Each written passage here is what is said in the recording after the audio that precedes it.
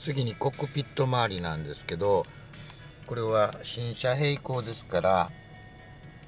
車のメーターはマイル方式になっております。でそこでなかなか日本ではですねキロですから、えー、分かりにくいので、えー、このネズミ取り通称のネズミ取りをつけておりますけどこれでしたらちゃんとですね、えー、キロ数も出ます。そして、えー、最近は事故とかにあっても困りますから、えー、ドライブレコーダーをつけております。ドライブレコーダーですね。これをつけております。また、えー、必須としまして、え、iPad これミニの方なんですけど、え、これもつけてナビももちろんこちらにあるんですけど、え遠くまで行きますと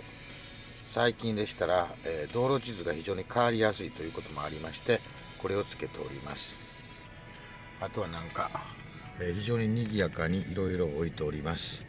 えこれは前函館にフ